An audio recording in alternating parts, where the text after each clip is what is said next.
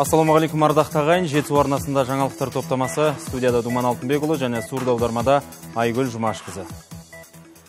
Батыс қазақстан облысынан келген арнайы делегация алматы қаласы маңындағы облысымыздың экономикалық тұрғыдан қуатты өңірлерін аралап көрді. Қонақтарды облыс әкімінің бірінші орынбасары ләззат тұрлашев қарасай жамбыл және талғар аудандарындағы бірнеше өндіріс ошақтарымен таныстырды. Облыс тыныш тіршілігімен танысқан батыс қазақстан облыс әкімінің бірінші орынбасары арман кәрімұлы аймақтың өндірістік әлеуетін жоғары бағалады. Біздегі кейбір зауыттарды өздерінен жаңғыртып салу туралы ұсыныстарын да сөз арасында айтып қалды. Әсіресе байсерке агро жауапкершілігі шектеулі серіктестік атқарып жатқан жұмыстарына таңданыс білдірді. Батыстық әріптестердің бізге келіп тәжірибе алмасуы қос облыс арасындағы әріптестік іскерлік қатынасты нығайтуда да маңызы зор деді ләззат тұрлашев. Тақырыпты тілшіміз толықтырады. Батыстан келген қонақтар алдымен қарасай өңіріне табан тіреді. Жармұхамбет ауылындағы алматы әйнек зауытының жұмысымен танысты. Бұл кәсіпорынға қытай инвесторлары 45 миллион доллар салған. Бүгінде 450 адам еңбек ететін өндіріс ошағының қуаттылығы күніне 6500 құмыра шығаруға қауқарлы. Әйнектен жеті түрлі өнім дайындайды. Осындай қуаты мығым жаңа үлгідегі өнеркәсіп республика бойынша біреу екенін айта кетті зауыт басшысы. Одан әрі батыстық әріптестерін бастаған ләззат махатұлы исаев ауылындағы мадмар жылыжай кешеніне бас сұқты. Аумағы 4 гектар жылына екі мезгіл өнім алады. Маусымдық кезінде тәулігіне 8 тоннаға дейін көкөніс жинап саудалаймыз дейді кәсіпкер. Мемлекеттен алатын 30 миллион теңгеге жуық субсидияның көмегімен жылына 200 мың тоннаға дейін қияр мен қызанақ өндіріп отыр. Теплице выращивается ну, основная продукция огурцы Мұнда қазір тек қияр ғана өндіріледі. Біз наурыз айынан бастап шілде айына дейін осы өнім түрін базарға шығарамыз. Одан әрі қыс ортасына дейін қызанақпен айналысамыз. Мұнда голландиялық жабдықтардың арқасында бір қалыпты температура сақталады. Пайдамыз жаман емес. Қазір жүзден аса адам жұмыс істейді. Міне келген қонақтарға өзімізде барлардың бәрін көрсеттік ал жамбыл ауданы қасымбек ауылындағы техсан қазақстан инвест те облысымыздағы табысты өндіріс орындарының бірі. Зауыт қуаты айына жүз мың данадан аса электр лампаларын дайындайды. Мұнда электр бұйымдарының мың екі жүзден аса түрі бар. Заман талабына сай соңғы үлгідегі өнімнің сапасы жоғары ал бағасы қолжетімді. Бағасы негізінде қытай россия мемлекетінен төмен. Біз конкурентно гарантиясы үш жылдан он жылға дейін бере аламыз. Гарантиясын бұл жерде ең маңыздысы дроссель негізінде. Вот сыртындағы мына ледовый планкалар жүре береді. Ол как бы пожизненно жүреді да ішіндегі дроссельдің гарантиясын біз он жылға дейін бере береміз. Бірақ стройдан шығыпты мынау біреу стройдан шығып кетсе қытайлардікіндей полностью ауыстырудың қажеті жоқ төрт жүзге жуық жұмысшы тынымсыз еңбектеніп жатқан зауытпен танысқан батыстық кәсіпкерлер біздегі өнімдерге қызығушылық танытты. Тіпті жарықтандыру құрылғыларын сатып алу жағын да сөз етті. Сондай ақ батыс өңірде де осы тектес зауыттар ашып мамандармен тәжірибе алмасуды да ойлап отыр. Кішкене деген ол аз болар. Көп пайдасы тиіп жатыр. Қалай істегендерін жұмысты организовать еткендері өте жақсы дұрыс. Біздің облысымыздың көбінше мал шаруашылығымен а. Сіздің облыста көбінесе производство өте жақсы қойылған бізде де ойларымыз бар оларда ондай осындай ұқсас завод фабрикаларды біз қоямыз мына қазір светодиодный светильник деген бар ғой лед мына жолдарға жарықтандыратын соларды қызығуш танытты соларды көрді қалай шығарылады қалай жасалады соның бәрін детально қарап танысты. Контакттармен ауыстық. Басқа мемлекеттен алып жатқандарын да айтты. Біздің зауытта осындай завод бар екенін ешкім білмегендерін айтты. Көргеннен кейін қуанды. Енді болашақта жұмыс істейміз деген үміт бар. Сонымен қатар қонақтар ақындар мен батырлар еліне келіп динадай ұлы күйшінің ізін басты. Иә жыралы біз жамбыл атамызды ұмыт қалдырған жоқ. Ұлы ақынның жамбасы тиген киелі жер иелі ел жамбыл ауылына да ат басын бұрды. Алып тұлғаның рухына тәуетті құран бағыштады. Одан әрі жамбыл атамыздың әдеби мемориалдық музейімен танысты. Осыдан кейін қонақтар талғар ауданына да ат басын бұрды. Гүлдала маңындағы фрешфорд қазақстан жауапкершілігі шектеулі серіктестігі жыл бойы алты жарым мың тонна алма мен көкөністің сапасын бұзбай сақтай алады. Қоймадағы өнімдерді түгелдей өздері өндіреді. Олар алда көкөніс пен жеміс бағасын тұрақты ұстауға өз үлестерін қосып отандық апорт брендінің абыройын асқақтатамыз деп отыр. Сонымен қатар батыстық делегация арқабай ауылындағы байсерке агро жауапкершілігі шектеулі серіктестігімен де танысты. Аталған серіктестік жыл сайын 2000 тоннаға жуық сүт және 1200 тоннадан астам ет өндіруге қауқарлы. Шаруашылықтың сан саласымен айналысуға мүмкіндіктері бар. Бәрі заман талабына сай жасақталған. Мынау байсерке агро қазіргі тұрған мекемеміздің бұл енді қазақстанға белгілі бірден бір жаңағы өндірістік шаруашылық бұл енді бір жағынан ғылыми деңгейде ұйымдастырылып жатқан шаруашылықтардың біреуі бұдан алатын нәрсе үйренетін нәрселер көп ақ енді болашақта бұл меморандум қойылу сосын жеке кәсіпкерлермен облыстың басшылығымен екі ортада жаңағы ары қарай жүзеге асыру жөнінде меморандумға қол қойылатын болады өздеріне қажеттілерін түртіп алған қонақтар батыс өңірден жұмыс бастаймын деген жетісулық кәсіпкерлерді де ыстық ықыласпен қарсы алатындарын жеткізді. Осылайша оралдан келген меймандардың екі күндік сапары сәтімен түйінделді. Құрманжан қасымжанұлы аманжол жөнкешев жетісу телеарнасы. Талдықорғандағы тіл сарайында мемлекеттік тілді үйрету, әдістеме, тәжірибе, инновация атты республикалық семинар өтті. Оған әдіскер ғалымдар мен тілдерді дамыту басқармасының басшылары және мемлекеттік тілді оқыту орталықтарының мамандары қатысты.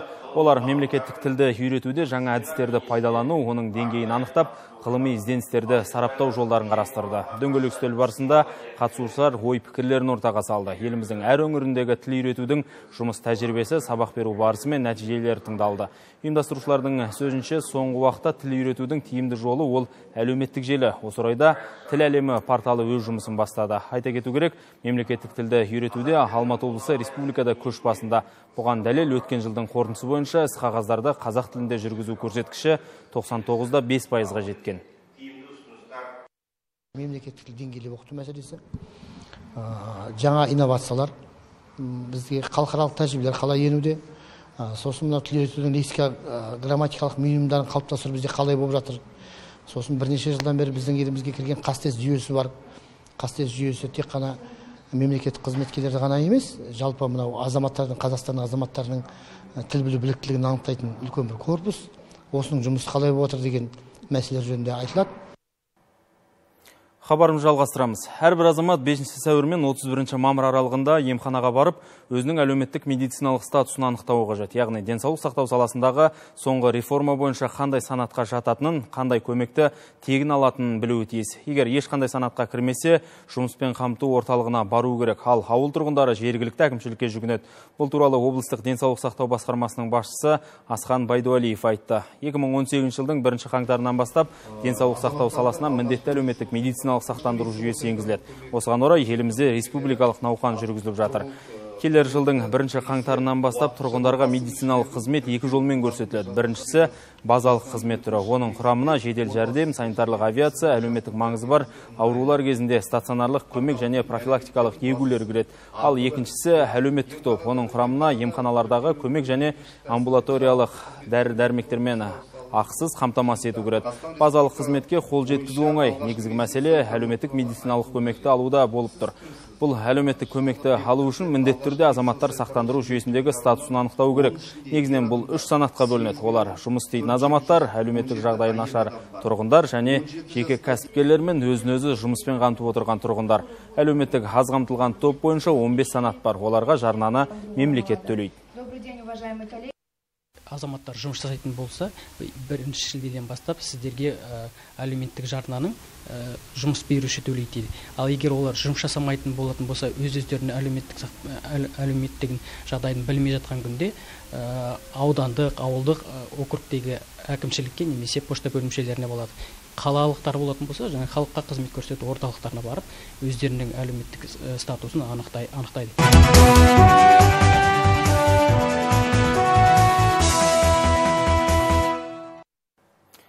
Таза қаланың тынысы кең. Талдықорғанда санитарлық тазалық айлығы аясында жалпы қалалық сенбілік өтті. Бұл күні жалпы 120 тоннадай қоқыс шаһар сыртына шығарылды. Талдықорғанда Гүлдана Есімғалиева таңмен тұрып, жалпы қалалық сенбілікке атсалысты. Өз үйінің ауласын жиып, сыпырып, қыстан бері қарасында қалған күл қоқысты сыртқа шығарды ал оны көршілермен бірлесіп әкімдік арнайы бөлген көліктерге тиеді сенбі сайын осындай сенбілік өткізуде өте қуаныштымыз мына енді біздің болашақ өзіміздің балаларымызға да үлгі болсын дейміз. Ауласын таза ұстап енді көктемді болғаннан кейін жайнап тұру керек қой жан жағы бәрі. Сол өзіміз сияқты есік алдын сияқты сол гүл гүл жайнап тұрсын деп сол үшін таза тазалық ұстау керек деп ойлаймын. Жалпы қалалық сенбілікке қала тұрғындары бір кісідей қатысты. Сенбілікке талдықорған қаласы және еркін өтенай ауылдық округтері әкім аппаратының қызметкерлері де тазалық шарасынан тыс қалған жоқ. Колледждер де өз үлесін қосты. Бұл күні бірінші кезекте көпшілік жүретін қоғамдық демалыс орындары да қамтылды. Қала біздің жасыл қала деп есептеледі. Соған өзіміз біз үлесімізді жылда қосамыз деп ойлаймын. Ары қарай да осы мына санитарлық сенбіліктің айлығымызға жұмысты алға жалғастыра береміз. Сенбілік күнге біз өз еркімізбен өзің қалауымызбен шығып жатырмыз. Бұл сенбілік күнге барлық білімгерлер өзінің үлесін қосып атсалысып жұмыс жасап жатыр. Тазалық шарасына қала бойынша 240-тан аса мекеме яғни 28 мыңға жуық адам қатысты. 30-дан аса техника жұмылдырылды. Шамамен 600 текше метрдей қоқыс қала сыртына шығарылды. Мұндай тазалық жұмыстары апта сайын жалғасады дейді жауаптылар. Әр сенбі сайын біз осы сенбілік жұмыстарын жүргізуге тырысамыз. Және де бұдан бөлек қаланы абаттандыру жұмыстары жаңағындай көшет отырғызу көгалдандыру жұмыстары да жоспарда бар. Қазіргі ауа райы дұрыс болған кезде келесі жолы біз тағы да ағаш егу жұмыстарымен айналысамыз.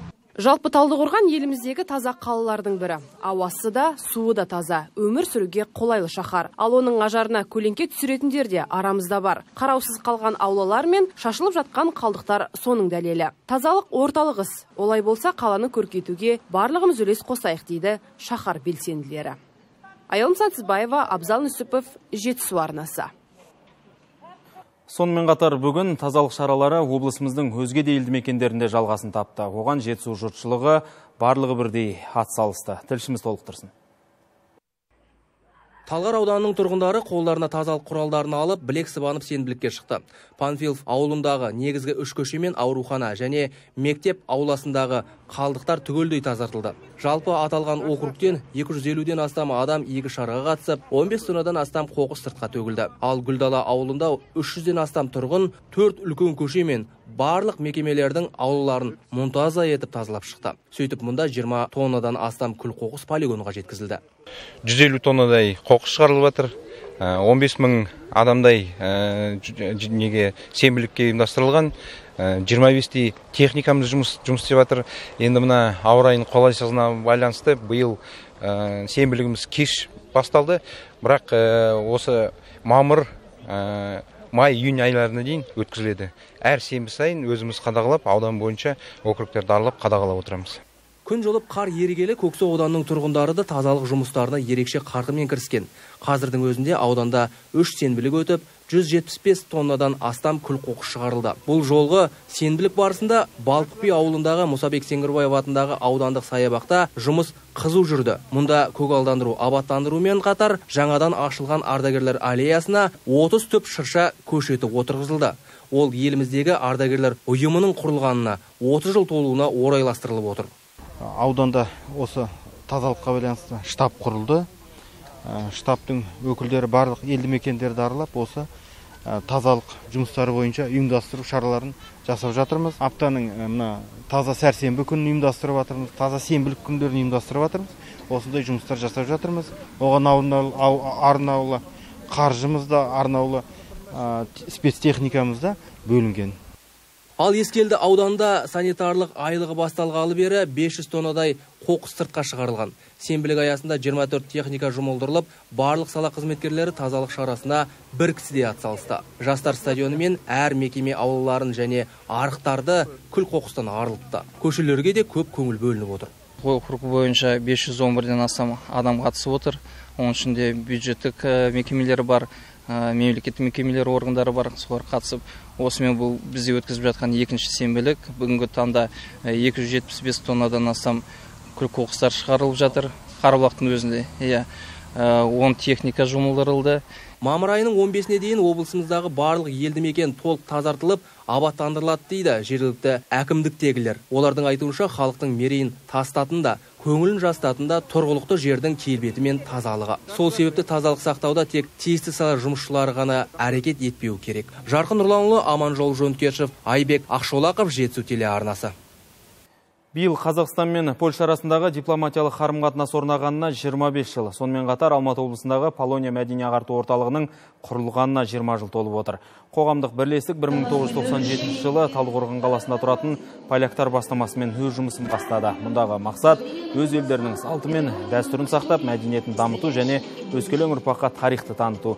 Мерейлі күнге орай өңірдегі этномәдени орталық өкілдерін шақырып концерт берді. Шарада сөз алғандар ұлттар арасындағы татулықты нығайту жолында бірлесіп әрекет ету керек деді. Айта кетейік, осы жылдың бірінші қаңтарынан Польша азаматтары үшін Қазақстанда визасыз жүру режимі енгізілген. Мамыр айында тікелей Астана Варшава әуе рейсі ашылмақ. Екі елдің ынтымағына қуанатын поляктардың қазақтарға айтар алғыстары да шексіз. Өйткені осында жер аударылғанда да жергілікті халық жатсынбай барымен бөлісті. Осы күнге дейін бір үйдің баласындай өмір сүріп жатырмыз дейді олар. Мне хочется сегодня вспомнить и со слов своих родителей, и своего... Әке шешем үнемі айтып отыратын бізді 36 жылдары вагонға тиеп Қазақстанға келген. Ашпыз барар жеріміз, басар тауымыз болмады. Сол кезде жергілікті халық бізді бауырына басып, бізге қолдан келгенше көмектесті. Ол кезде қазақтар да кедей тұрды.